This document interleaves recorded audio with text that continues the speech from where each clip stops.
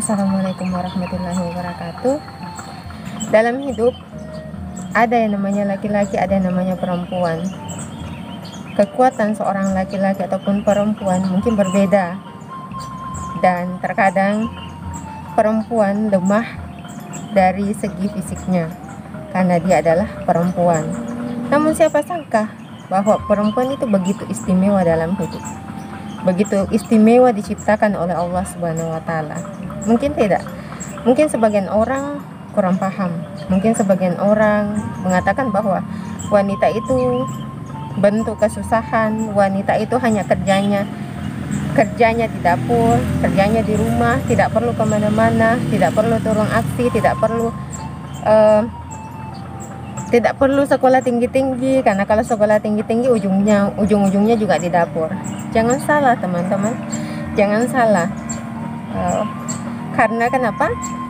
Perempuan diciptakan dalam beberapa karakter dan tanggung jawab dalam beberapa peran. Yang pertama dia lahir sebagai hamba Allah. Dia dilahirkan sebagai hamba Allah di mana dia diperintahkan untuk bersujud kepada Allah, beribadah kepada Allah Subhanahu wa taala. Di mana dalam surah Az-Zariyat ayat 56, Bismillahirrahmanirrahim. Wa ma halaqtul jinna wal insan illa liya'budun. Ayat ini mengisyaratkan bahwa baik dia laki-laki ataupun perempuan dia harus beribadah kepada Allah Subhanahu wa taala tanpa melihat umurnya, tanpa melihat sisi apakah dia kaya, miskin, apakah dia jutawan atau apa pun itu bentuknya, dia tetap harus beribadah kepada Allah Subhanahu wa taala. Kemudian yang kedua, seorang perempuan dilahirkan sebagai seorang putri, sebagai seorang anak dari pasangan kedua orang tuanya dari ibu dan ayahnya.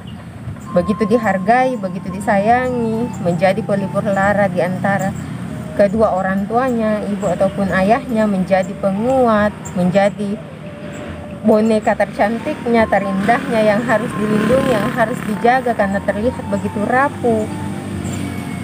Kemudian dari situ dia akan menjadi seorang putri yang akan berbakti kepada kedua orang tuanya. Namun terkadang sebagian besar kita yang notabene perempuan tidak menghargai dirinya sebagai seorang putri. Terkadang orang tuanya dijadikan sebagai pembantu, mungkin hanya dekat saja misalnya makanan, suruh lagi ibunya yang ngambilin, yang buatin. Kalau ibunya sendiri yang ingin membuatkan ya nggak apa-apa, tapi kalau anaknya yang memerintahkan, membe membentak orang tuanya e, mengatakan bahwa saya adalah putri kalian kenapa kalian tidak melayani saya? Melayani saya? Pasti di luar sana masih banyak yang tidak menghargai kedua orang tuanya menghargai ibu dan ayahnya jangan sampai kita termasuk salah satunya seperti itu. Oke kemudian yang ketiga jadi tadi kedua sekarang ketiga.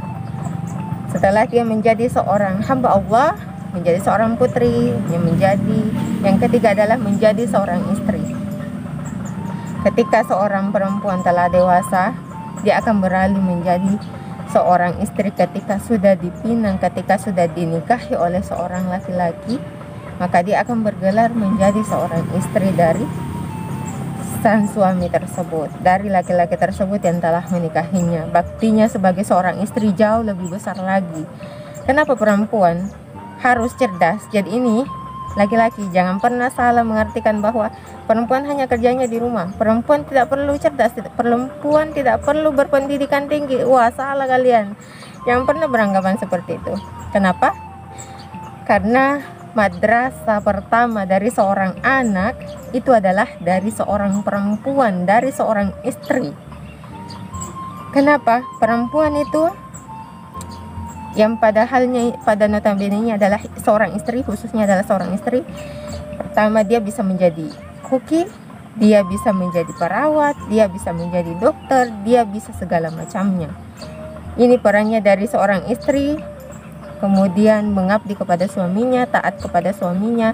Selama dalam hal kebaikan maka suami maka istri wajib taat pada sang suami Ketika dia telah menyalahi aturannya Allah, melanggar perintahnya Allah, entah itukah dia kafir, suaminya menyuruh dia keluar dari Islam atau mengajaknya keluar dari Islam, maka sang istri berhak untuk menolak.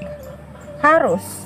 Aku bilang, berarti dia akan durhaka. Siapa bilang durhaka? dia tidak akan pernah durhaka seorang perempuan atau istri tidak akan pernah durhaka ketika dia menolak untuk mendurhakai Allah karena keyakinannya dan cintanya kepada Allah Subhanahu wa taala. Namun, ketika seorang perempuan menuruti apa keinginan suaminya dalam hal keburukan, maka sama saja dia melakukan keburukan tersebut. Sama saja nggak ada bedanya dia dengan pelaku kejahatan tersebut atau keburukan tersebut. Kemudian dari seorang istri yang keempat adalah dia beralih menjadi seorang ibu. Dari seorang istri yang tadi tanggung jawabnya kepada suami berhak e, berkewajiban untuk melahirkan anak-anak dari suaminya. Menjadi seorang ibu yang kata orang adalah sebuah hal yang sangat sempurna bagi seorang perempuan.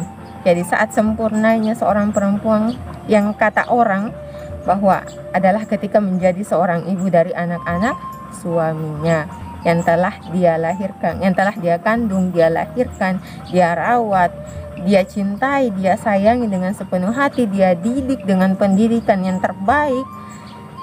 Seperti kisahnya para sahabat yang ibundanya berperan penting, ibundanya Imam Ahmad yang ketika uh, pada saat itu uh, ayah dari Imam Ahmad sudah meninggal, ibunya Imam Ahmad berkewajiban untuk mendidik anaknya untuk menjadi seorang yang berguna untuk umat untuk Islam menjadi kebaikan untuk umat itu sendiri pelanjut estafet perjuangan Rasulullah dakwah Islam kemudian ada banyak kisah yang menceritakan tentang keagungan seorang perempuan, tentang keistimewaan seorang perempuan yang memang harus dijaga, yang memang harus dirawat baik-baik. Kenapa? Karena seorang perempuan selain dari dia adalah keindahan, maka perempuan itu adalah perhiasan. Sebaik-baik perhiasan di dunia ini adalah wanita soleha. Yang mana wanita soleha itu adalah yang taat kepada Allah mencintai apa yang Allah cintai dan membenci apa yang Allah benci.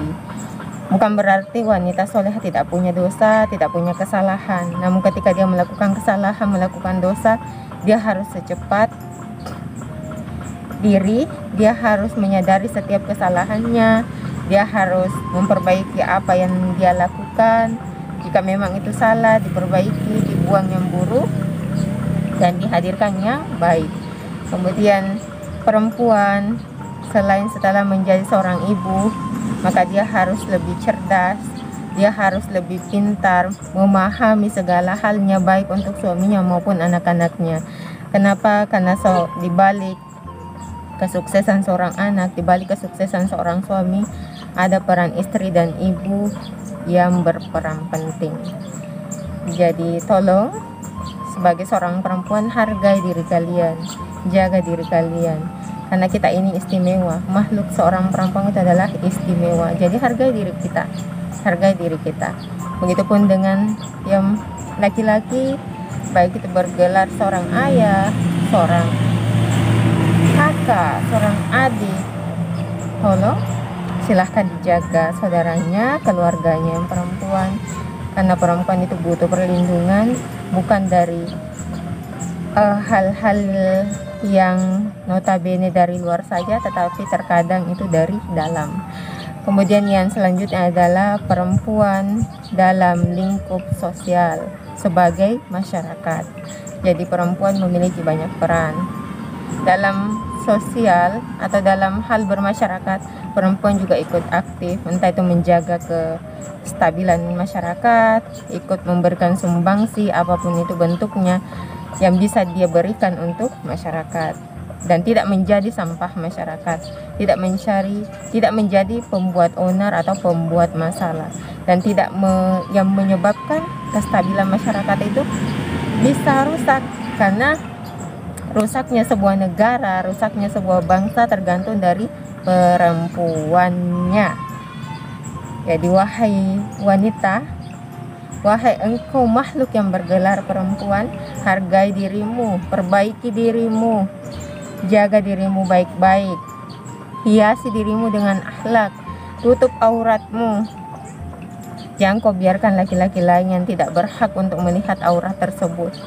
Karena satu helai saja rambut yang terlihat oleh mereka yang bukan mahram kita, maka selangkah itu pula kaki ayah dan saudara kita yang laki-laki menuju ke nerakanya Allah. Kalaupun itu sudah terlanjut dan telah kita lakukan, sadari diri kita, perbaiki kembali, perbaiki apa yang telah kita lakukan, kesalahan yang kita lakukan, perbaiki secepat mungkin. Jangan pernah mengatakan bahwa saya sudah terlambat untuk bertobat. Tidak ada kata terlambat untuk bertobat. Tidak ada kata terlambat untuk belajar. Selama kita mau, selama ada kemauan, selama ada tekad, selama ada niat, kita pasti bisa melakukan segalanya. Jadi, hargai waktu, hargai dirimu, perbaiki apa yang harus diperbaiki, dan tingkatkan apa yang harus kita tingkatkan.